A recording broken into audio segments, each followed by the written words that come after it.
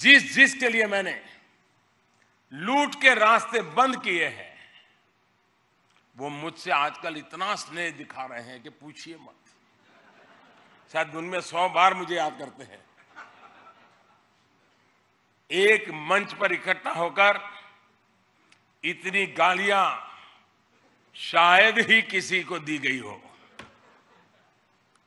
साथियों इनके लिए मोदी को गालियाँ देना प्राथमिकता है। मेरे लिए प्राथमिकता है कि देश का ईमानदार टैक्स पेयर जो इतनी मेहनत करता है, परिश्रम करता है, उसके द्वारा सरकार को मिली एक एक पाई का सही इस्तेमाल हो। हमारे यहाँ किस तरह जनता के पैसे को जनता का न समझने की परंपरा अरसे तक हावी रही है। आप भी भली भांति जानते हैं। अगर ऐसा न होता तो सैकड़ों योजनाएँ दशकों तक अधूरी न रहती, अटकती, भटकती न कर रहती।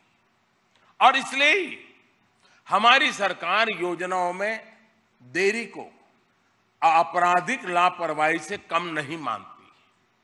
मैं आपको सिर्फ़ दो तीन उदाहरण देता हूँ कि पहले के दशकों दशकों में चाहे परियोजना है? बाण सागर उसका नाम है। ये योजना करीब करीब चार दशक पहले शुरू हुई थी, चालीस साल पहले। उस समय अनुमान लगाया गया था कि 300 करोड़ रुपए में इसका काम पूरा हो जाएगा। लेकिन ये लटकी रही, अटकी रही, पता नहीं किसका इंटरेस्ट होगा। 2014 में हमारी सरकार बनने के बाद इस पर फिर से काम शुरू करवाया गया। अब तक इसकी लागत राशि बढ़कर तीन हज़ार करोड़ रुपए हो गई। ऐसे तो था नहीं कि पहले की सरकारों को कोई काम करने से रोक रहा था, मना कर रहा था। तब 300 करोड़ रुपए की तंगी भी हो, ये कोई गले उतरने वाली बात नहीं है। दरअसल, काम समय से पूरा हो, इसकी भीतर से ही जग इच्छा शक्ति चाहिए।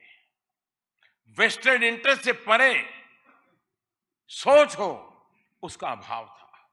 सोच यही थी, ठीक है, देर होती है तो होती रहे, चलता है, चलने दो। मेरा क्या नुकसान है?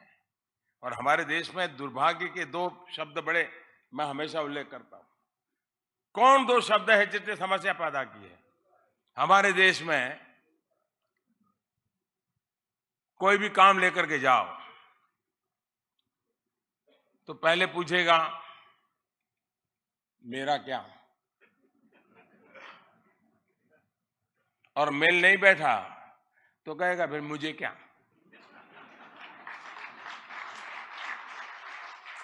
ये मेरा क्या और मुझे क्या, उसी का ये हाल है जी। एक है और डैम की मैं बात बताता हूँ, झारखंड में, मंडल डैम। ये भी चार दशक से अधूरी थी, और तब तो संयुक्त बिहार भी था। माजी जी बैठे हमारे यहाँ। तब तो संयुक्त बिहार था। जब इसकी शुरुआत की गई तो इसकी लागत थी सिर्फ़ तीस करोड़। और अब ये बाँध करीब 2400 करोड़ रुपए खर्च के पूरा करने की नौबत आई है। 30 करोड़ से 2400 करोड़, बताइए। किसका पैसा है? यानी ये परियोजना लटकने की 80 गुना कीमत देश का ईमानदार करदाता चुका रहा है।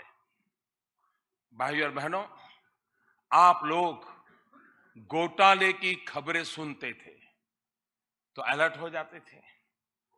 अच्छी बात है।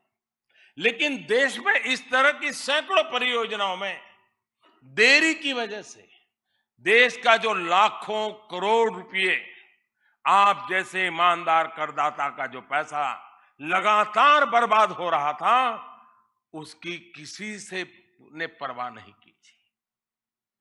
इस पैसे को सम्मान देना हमारी सरकार की प्राथमिकता थी और इसलिए ही सरकारी व्यवस्था में लेट लतीफी की संस्कृति को बदलने का मैंने पहले दिन से प्रयास किया।